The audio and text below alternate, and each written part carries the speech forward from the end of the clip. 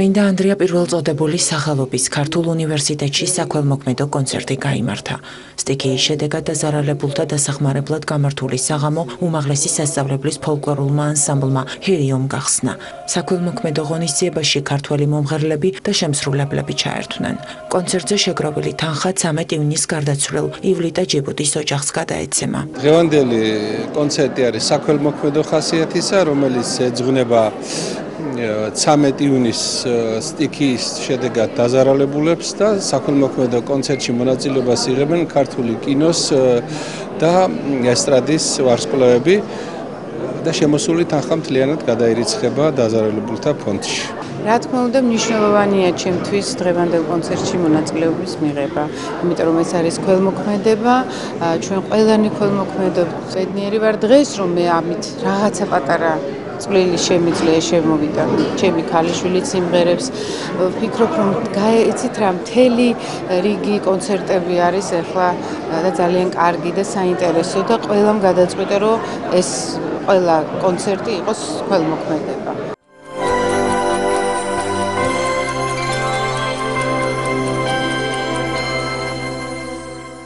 ანსამბლი მძლევარი საიუბილეო კონცერტისთვის ემზადება. მსმენელს ორ მოქმედებიანი საკმაოდ ვრცელი და მრავალფეროვანი რეპერტუარი ელოდება.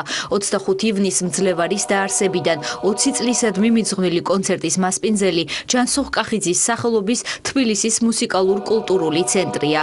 რეპერტუარი ანსამბლის ყველა თაობის მონაწილეობით შესრულდება. აღსანიშნავია, რომ მძლევარის იუბილე, რომელიც 14 ივნისს იყო დაგეგმილი, თბილისში მომხდარი სტიქიისა და საყოველთაო გლოვის გამო გადაიდო.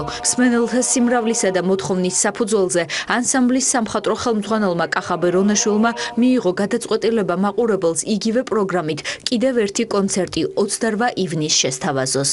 ჩვენი ანსამბლი უსამძიმრებს ყველა დაღუპულ გადაცვლილ ოჯახებს. ნამდვილად დიდი ტრაგედია დატრიალდა უნებრივია ყველა გვერდში ვიდექით და მე მინდა აღვნიშნო მეორე დღიდანვე მოხალისეებში ჩემი ბიჭები, ჩვენი ანსამბლის ბიჭები ერთგულად ედგნენ ყველას გვერდით და იღებდნენ ამ დახმარებაში მონაწილეობას.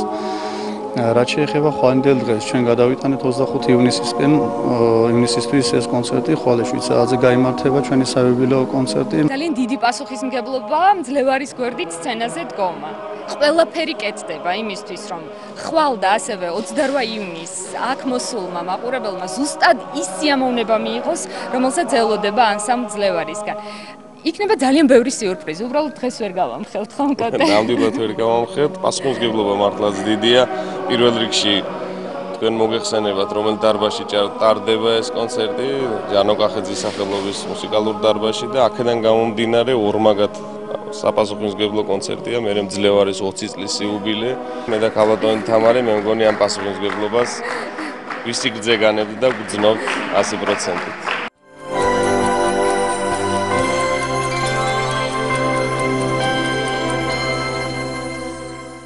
საქართველოს განათლების მეცნიერებათა აკადემიამ 20 წლის საიუბილეო თარიღი სოხუმის სახელმწიფო უნივერსიტეტში აღნიშნა. აკადემიის მეცნიერ თანამშრომლები უმაღლესი დაწესებულების რექტორს ჯონი აფაქიძესა და უნივერსიტეტის პროფესორ მასწავლებლებს შეხვდნენ. ღონისძიებაზე განათლების სფეროს შესახებ, ასევე სამომავლო გეგმებისა და აღნიშნული მიმართულების განვითარების გზებსა და პერსპექტივებზე იმსჯელეს. საიუბილეო წელია წელს აკადემიისთვის და რიგმა უნივერსიტეტებმა გამოთქვა სურვილი რომ შეხვედრა მოაწყოს აკადემიასთან. გავიხსენებთ э, ჩვენ განვლილ э, წლებს, э, დავსახავთ გეგმებს, ერთმანეთს მოვინახულებთ, ვეთერებით, სიტყვებს ვეთქვით. ესეთი საიუბილეო ღონისძიება არის. ჩვენი უნივერსიტეტიდან ბევრი არის ამ აკადემიის წევრი, იმიტომ რომ ჩვენთან არსებობს განათლების ფაკულტეტი, შესაბამისად დღეს შეკრებილი საზოგადოება განათლების მიმართულებით, აი განათლების საკითხებზე იმჟელებს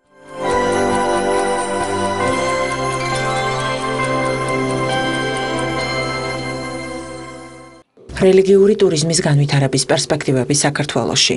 ამ სახელწოდების კონფერენცია ახალგაზრდობის სულიერი და ინტელექტუალური განვითარების ცენტრში გამართა. რელიგიური ტურიზმის ცენტრის წარმომადგენლებმა და სხვადასხვა უმაღლესი სასწავლებლის სტუდენტებმა დარგის მნიშვნელობასა და ინოვაციურ მიდგომებზე ისაუბრეს. როგორც ორგანიზატორებმა აღნიშნეს, მსგავსი სახის კონფერენცია საქართველოში პირველად გამართა. რელიგიური ტურიზმი მეტად აქტუალურია არა მარტო საქართველოში, არამედ მთელ სოფლიოში. რელიგიურ ტურიზმთან არის დაკავშირებული 90% იმ ტურისტ ჩამოსული ტურისტებისა, რომლებიც მონახულებადი არიან.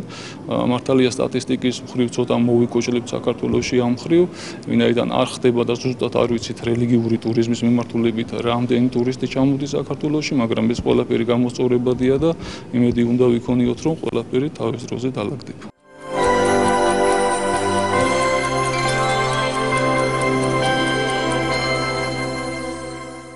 სტიქიის შედეგად დაზარალებული ოჯახებისთვის მიყენებული მატერიალური ზარალის დეტალური აღწერა დაიწყო.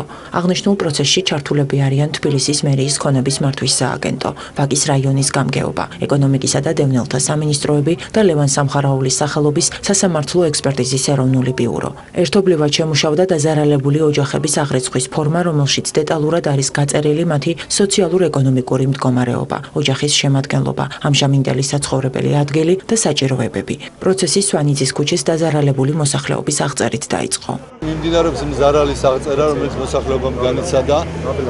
ამაში ჩართულები არიან როგორც მერიის სამსახური, ეკონომიკის სამინისტრო, ისე ჩვენი სამინისტრო, დევნილთა და განსახლების სამინისტრო და ასევე სამხარაულის სახელობის ექსპერტიზის ბიურო, რომ ზუსტად მოხდეს აზომვა და იმ ზარალის დათვლა, რომელიც მოსახლეობამ განიცადა, რომ მე შევთანხმდეთ უკვე ზარალის ანაზღაურების წესზე და ასევე ძალიან სწრაფად არის გასაკეთებელი მოქალაქეების განსახლება ჯერ დროებით და შემდეგ უკვე საცხოვრებელ ადგილებზე.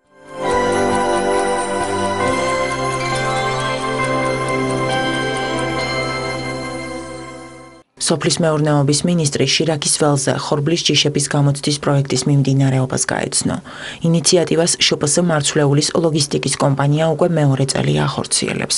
ამ ეტაპზე ხორბლის ჯიშის გამოცდა საქართველოს ხუთ მუნიციპალიტეტში მიმდინარეობს. პროექტის მიზანია გამოცდის გზით ყველა ნიადაგურ კლიმატური ზონებისთვის ხორბლის ოპტიმალური ჯიშების გამოვლენა და პერსპექტიული სახეობების დანერგვა აპრობირება საწარმოო ფართობებში. პროექტში აღსანიშნავია, რომ ნამდვილად ძალიან კარგი ჰექერის მოსავალია მიმდინარე წელს მოსახლეობა არის ძალიან კმაყოფილი.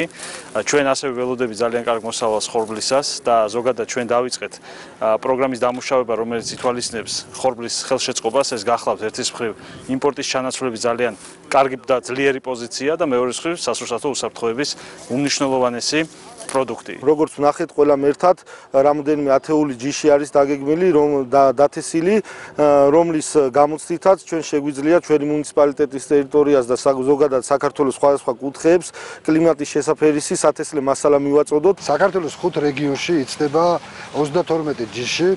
დღეს ჩვენ დავათვალიერეთ შირაქში ჯიშთა გამოცდის ცენტრი. სადაც ვთქვით 72 ჯის. ამის შემდგომად უკვე ჩვენ ვფიქრობთ ფერმერებს უკვე შევთავაზოთ მაღალხარისხიანი სათესლე მასალა, რომელიც უკვე ამ რეგიონისთვის იქნება გამოცდილი და აა გავაკეთოთ დახმარების პროგრამები.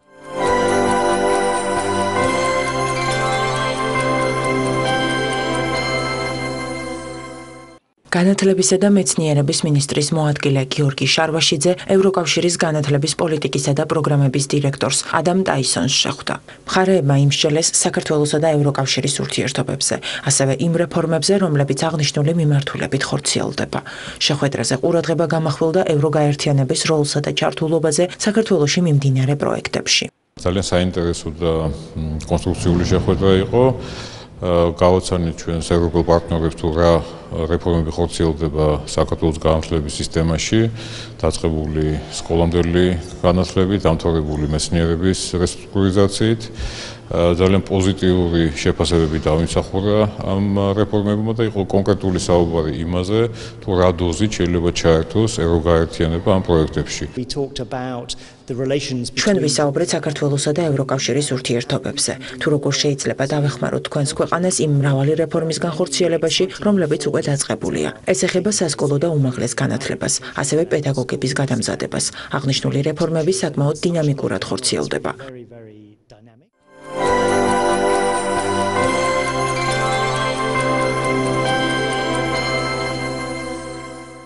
სამოქალაქო განათლების პროგრამა მომავლის თაობა დასრულდა. შეხვედრაზე თბილისის საჯარო სკოლების მე-9-10 კლასის მოსწავლეებმა საკლასო და მცირე საგრანტო პროექტები წარადგინეს. როგორც ღონისძიებაზე გახდა ცნობილი, პროგრამის ფარგლებში ზოგად საგანმანათლებლო დაწესებულების წარმომადგენლებმა 30 სამოქალაქო ინიციატივა მოამზადეს. სკოლის მოსწავლეებმა სამოქალაქო განათლების დამხმარე სახელმძღვანელოებიც მიიღეს.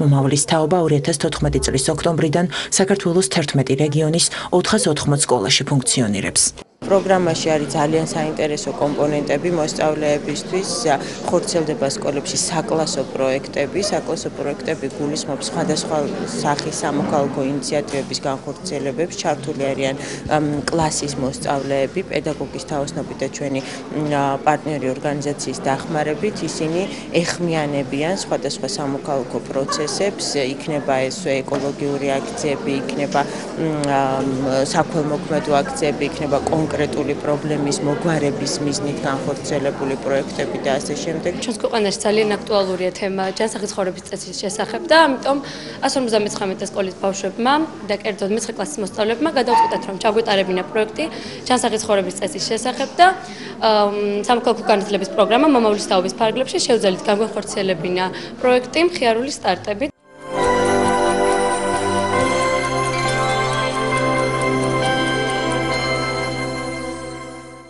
თბილისის საკრებულოს თავმჯდომარემ ჩინეთის სახალხო რესპუბლიკის სამთავრობო დელეგაციას უმასპინძლა.